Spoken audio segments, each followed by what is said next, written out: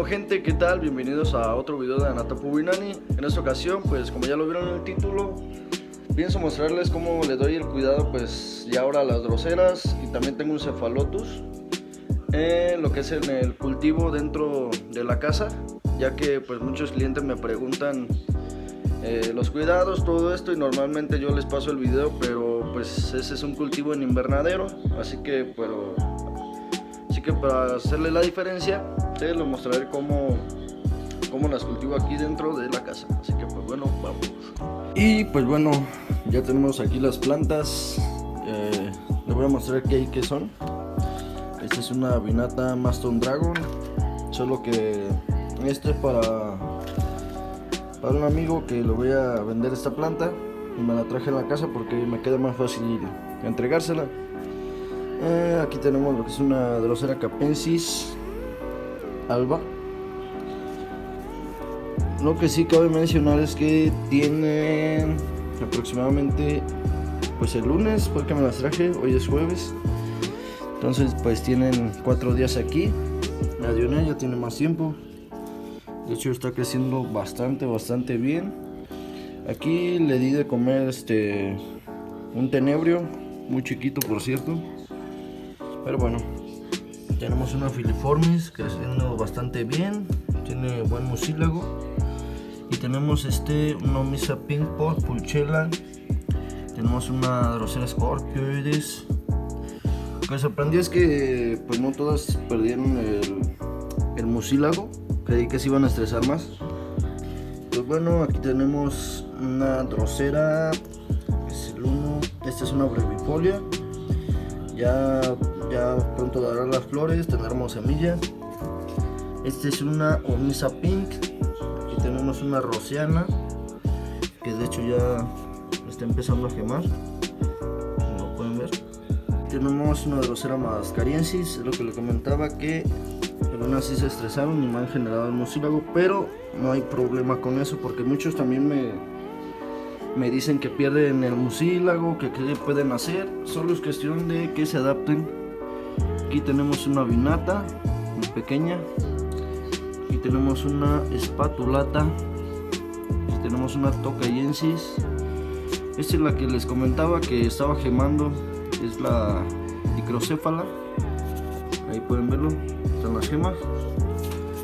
Aquí tenemos una nitidula creo que solo no me traje patents bueno hay varias que me faltan traer todavía. Y aquí tenemos nuestro cefalotus. Es el único que tengo el último. Este estaba tapado pero desde el día que lo traje aquí ya lo destapé. Porque pues no puede vivir toda la vida tapado. Si puede en teoría pero no me gustaría. Entonces ahora pues los cuidados. Y bueno, ahora en cuestiones de la luz, aquí vamos a estar parejos para todas.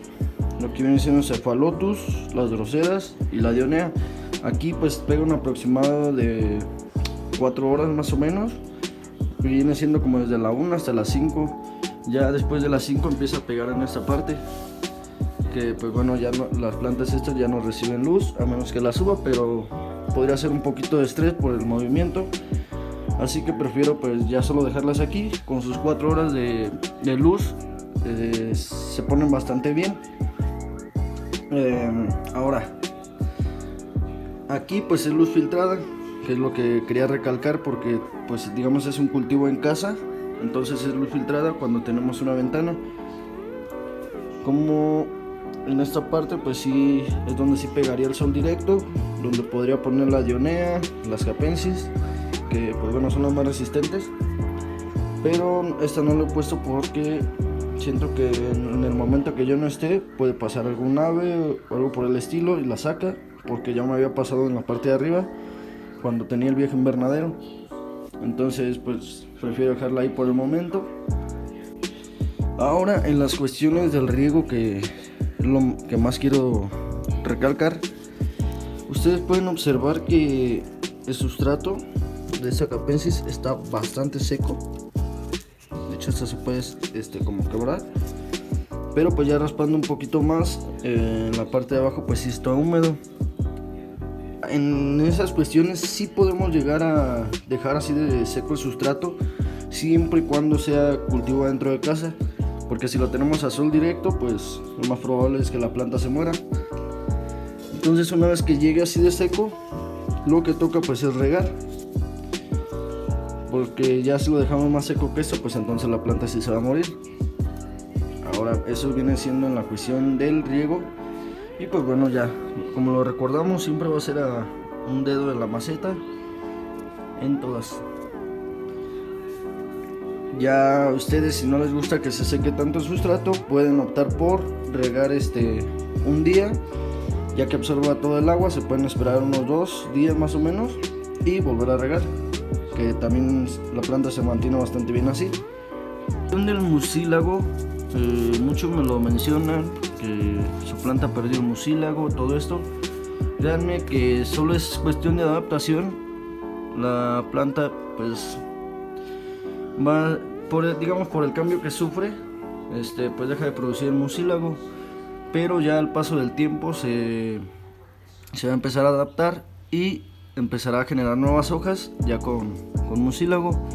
Aquí pues hubo unas que resistieron muy bien, pueden verlo, los afiliformes, tiene bastante mucílago, escorpioides también, las capenses que son las más, digamos, las más guerreras. Entonces, pues, por esa parte no se preocupen, únicamente la adaptación. Pues bueno, les mencionaba que, digamos, el cuidado va a ser parejo para todas, incluyendo las cefalotus, ya que pues el riego no es este constante, pues se pueden mantener todas igual. Únicamente si quisiéramos este, regar más y más, solo tendríamos que descartar a las cefalotus porque no, no son de mucho riego. También otra cuestión aquí es que podríamos tener una nepentes, por ejemplo en esta parte, porque pues ya tenemos más plantas alrededor, hacen una pequeña sombra y pues la planta estaría bastante bien. También algo que yo había notado cuando cultivaba aquí en, en mi cuarto de hecho estaba todo lleno así y también iba subiendo de nivel era que entre más plantas tenía como que se generaba más este humedad ambiental y pues por ejemplo en el caso de las drosedas las generaba mucho más mucílago. Nepente pues nunca llegué a tener aquí pero este estoy seguro de que se hubiera adaptado bastante bien hubiera sacado jarros todo Cefalutus pues sí había tenido, nada más que lo tenía tapado. Y pues ustedes pueden verlo, se ve bastante bien. Y pues ya lleva cuatro días destapado, desde que llegó aquí pues lo destapé. Entonces pues esos serían los cuidados. Únicamente pues viene siendo un anexo de los videos pasados donde ya les he explicado los cuidados de estas plantas. Pero pues ahora ya en el cultivo en casa. Y pues bueno gente, eso ha sido todo por el video de hoy, espero que les haya gustado, ya saben de ser así, manita arriba, compartan, de no ser así, dislike. Y pues como les mencionaba, esto solo es un anexo a, videos pasados, pero ya cultivando dentro de la casa. Espero pues ya traerme otro tipo de plantas, quizás nepentes, este, algunas utricularias, pues para ir complementando videos pasados, pero ahora con el cultivo en casa. Así que pues bueno, hasta la siguiente.